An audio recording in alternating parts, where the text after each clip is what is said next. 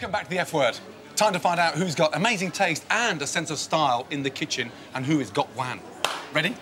You, you bet your ass I'm ready. No, oh dear. So, my cook-off with Gordon, I am doing a family recipe which is a prawn and Chinese mushroom wonton in a soup noodle. And it's all about the prep of Chinese food. It's not about the cooking time. So Gok's doing a wonton soup, and I'm doing something very, similar, but I'm going to do a bit of a sort of wonton soup, but mixed with a little bit of sort of hot and sour. And then make some nice wontons, but with some fresh scallops in there, so we can just sort of glamorise it a little bit. Uh, can I just say, you've got bloody good knife skills there. You spend Yeah. a lot of time in the kitchen, yes? Do you know what? My Look dad has been in catering all of his life, and he's actually got a fish and chip shop in Leicester now. But Oh, really? I was brought up in the kitchens, and I was brought up in the restaurant, and from a very early age, Yeah. Dad was teaching us, you know, how to cook and how to look after the restaurant. So catering's Yeah. a massive part of my life, really. I have to say. That's fantastic.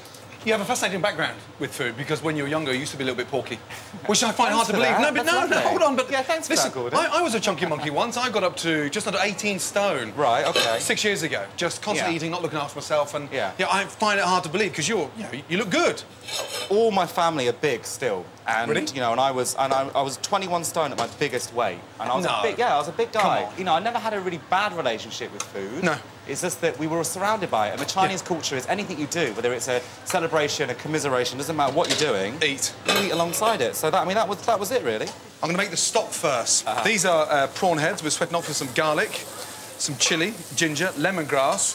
Once I've made the stock, I'm going to put the prawns back inside and poach the prawns inside the stock. Finish with the coriander, noodles, spring onions, and some little beautiful bok choy. Got.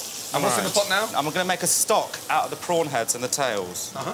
because that's what's going to make most of the soup. Watching you work in a kitchen is almost like watching a chef. You know that? huh? Oh really? Yeah, but you know, Oh, I like that. you're I do like attentive. that. you're taking the shit out of the. Oh uh, my prawns. god, do you know what? I was just thinking when you were talking then, this is the rankest job. I would much rather be putting naked women on buildings than doing this, I'm telling you. Go. You do have the most amazing job. Do you I? are the luckiest man in the world. I love my job. I love clothes. I love the idea of image. You Yeah. know, and it's about making people feel good, Sure. not changing them Absolutely. whatsoever. Not rocket science, really, Yeah. is it? It must have been a huge turn on. Well, do you know what? Not really my bag, I have to be honest. Um, have you ever been sort of tempted to sort of change direction? No, do you know what? I, I love penises. I mean, I can't, I'm not going to lie to you now. I do. You know, I'm, I am gay. I'm very, very happy about it. I'm out to my family, which is, you know, the biggest part of my life. Yeah. More than anything else.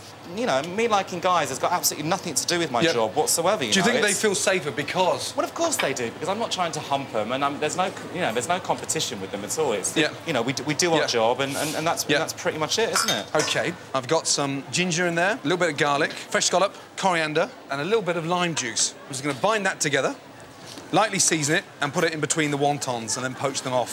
So, Thank what buddy. I've got so far then, a little bit behind, but it's fine, I'm still going to win. I have the uh, filling for my wontons, which is basically the mashed up prawns, bamboo shoots, water chestnuts, and the Chinese mushrooms, which is the very, very good quality Chinese mushrooms. And do you know what? I have to say, you are one of the gentlest, nicest men you, I've ever Stop. met in my entire life. That's you really kind, are. Thank you. Are you flirting with me? Absolutely, fucking lootly. I hear that you've got a little fetish, haven't you? Uh, hello. What is going on with those fucking cardigans, Gordon? they are absolutely heinous. Can I just say, you're swearing more than me. Uh, Oh, you don't do, like my it's cardigans? terrible. I, I swear to God. They're designer. look- I don't care.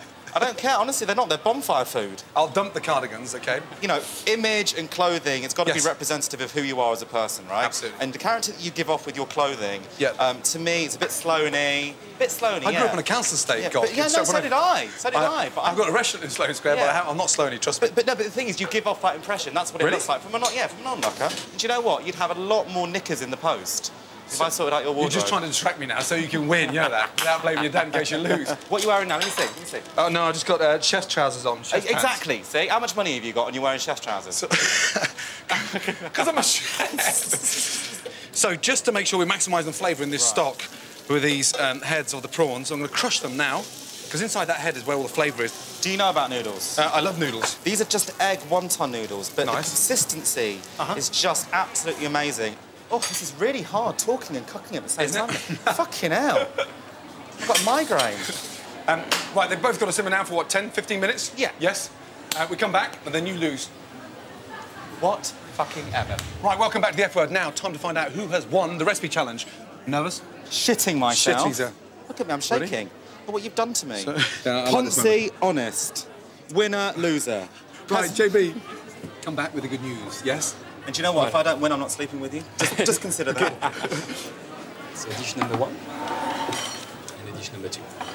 Bon appetit. Thank you. Thank oh, Quite strong And seafood taste, definitely. It's quite, it's very light though. Prawns cook very well though. Yeah, no, they are mm. The, brilliant. te- the cooked. texture's um, quite nice. Mm. Instantly tastes coriander. Yeah, mm. coriander's Lemongrass. really strong Yeah, in. It's really, really. nice.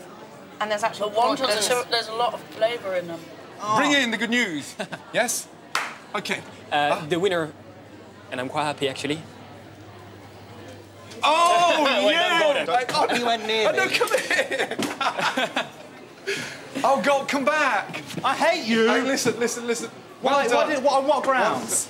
I want a re-eat. Uh, how do they say fuck off in the kitchen in Chinese? For a easy bit of kitchen. Yeah, something like that. Now get out of my Love you, kitchen. thank Love you you so too. much. All right, I'll send you a card, yes? Commiseration. All Well right, done. See you later.